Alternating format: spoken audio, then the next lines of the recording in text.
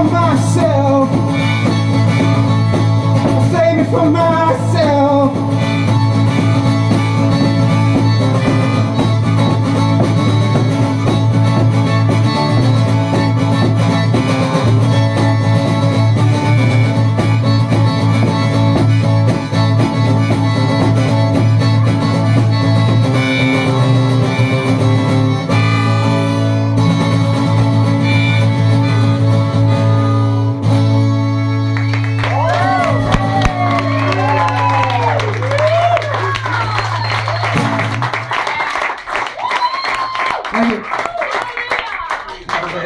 Praise the Lord.